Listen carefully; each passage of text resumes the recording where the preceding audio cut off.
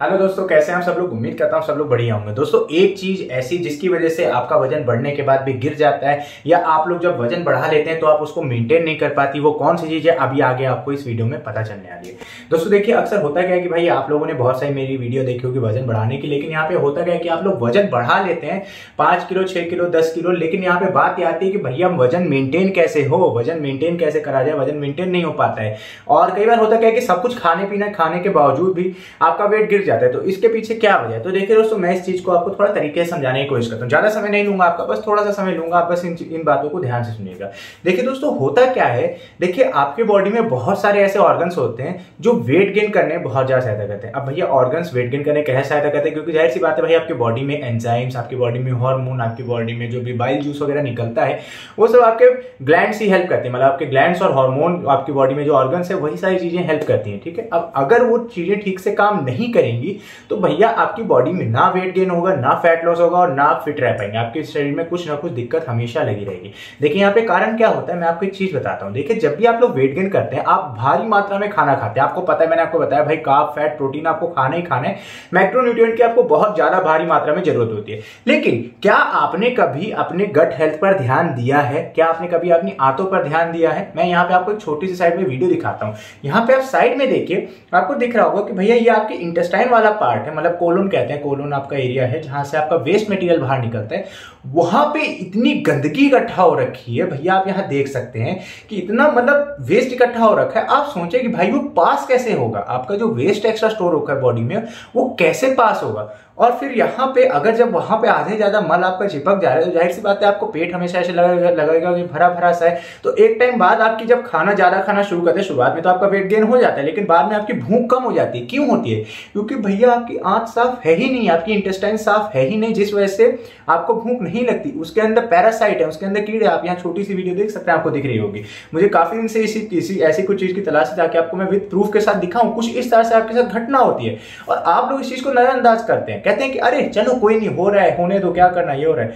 भैया, यहाँ पे ये जो आपका ऑर्गन है इंटेस्टाइन भी आपका एक तरह का ऑर्गन ही मान के चलिए, आपकी इंटेस्टाइन है, ये भी एक तरह की मान के चलिए स्मूथ मसल हो गया आपकी बॉडी में। भैया, लेकिन इतना स्मूथ होने के बाद भी इसके अंदर गंध फंस रहा है मतलब आपके शरीर में कुछ ना कुछ वेस्ट तो जा है ना, उसको भाई निकालेंगे कैसे? निकालने का तरीका बहुत सरल है, कोई नहीं करता। सुबह आपको क्या करना होगा, मैंने आपको इतनी सारी वीडियो में बताया, भैया, सुबह उठने के साथ बस आप इतना कर लें कि भाई जीरे वाला पानी उबाल करके पी लें, एक बार पी लें, क्या करना? नहीं, सुबह उठ करके खाली पेट पालक खा लें, अगर हो सकता हैं। मतलब पालक खा लें या कोई भी हरी सलाद, सब्ज़ी वगैरह खा लें, बस इतना कर लें आप। खाली पेट गाजर भी खा लें, मैं तो कह रहा हूँ, बहुत अच्छी बात होगी। मतलब उन सब में फाइबर होता है, चना खा लें। चने में भी रेशेदार फाइबर होता है, जो कि आपके आंतों को साफ़ कर देगा। मतलब आप जो जितनी भी चीज़ आप कर रहे हैं ना मतलब आपकी बॉडी अंदर से फिट रहेगी। वज़न बढ़ाने तक की बात सीमित नहीं है। यहाँ आपको फिट रखना फिट रहना ही बहुत ज़रूरी है। आपने 10 किलो बढ़ा लिया, लेकिन आपका वज़न गिर रहा है, कमज़ोरी आ रही है, दोबारा भूख नहीं लगी। बहुत बड़ी समस्या है। और दूसरी चीज़, भैया, दूसरी चीज़ यहाँ ये आती है कि भाई आपका लीवर जवाब दे जाता है। मतलब उसका ध्यान तो आप रखते ही नहीं है। एक दिन उसको भी आराम देना ज़रूरी है। अगर आप लोग वेट गेन करें तो वहाँ एक दिन वेट गेन में भी आप ब्रेक ले सकते हैं।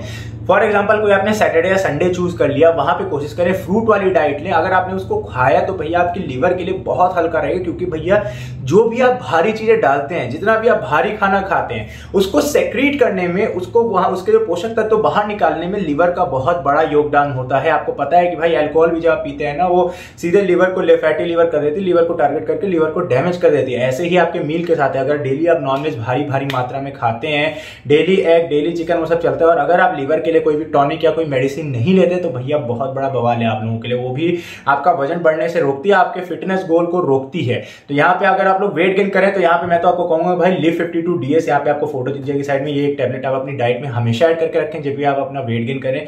क्योंकि भैया, जब भी आप लोग हैवी खाना खाते हैं तो कहीं ना कहीं आपका लिवर वहाँ पर बहुत ज़्यादा सफ़र करता है। वो डिटॉक्स नहीं हो पाता, जिसकी वजह से बहुत बड़ी समस्याओं से आपको जूझना पड़ जाता है। तो यही कुछ दो चीज़ें थी, अगर आपने इन दो चीज़ों को, अगर आपने इन्हीं दो चीज़ों को भी फॉलो कर लिया ना तो भैया यकीन माने आपका जो बड़ा सा बड़ा बवाल है, आपके शरीर में वज़न ना बढ़ना मसल्स ना बढ़ना, फिर शरीर मोटा ना होना, कमज़ोरी रहना, बीमार रहना हमेशा तो भैया ये सारी चीज़ें ठीक हो जाएँगी। केवल आपके लीवर से और आपके केवल आपकी जो इंटेस्टाइन है, उनको क्लियर रखने से। आप समझ सकते हैं, मैं आपको वीडियो दिखा रही साइड में मतलब कितनी बुरी तरीके से कंडीशन है।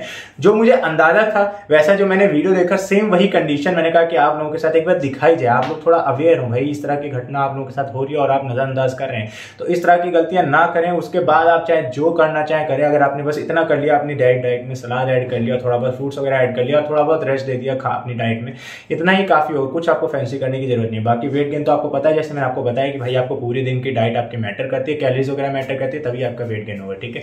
उम्मीद करता हूँ दोस्तों, आपको वीडियो पसंद आई होगी। अगर आप लोग ये गलती करें तो कृपया करके मेरी रिक्वेस्ट है, आप लोगों से इस गलती को बंद कर दें, वरना आप लोगों के साथ बहुत भारी घटना हो सकती है, ठीक है? मिलता है वीडियो में, तब तक के लिए bye bye and thank you for watching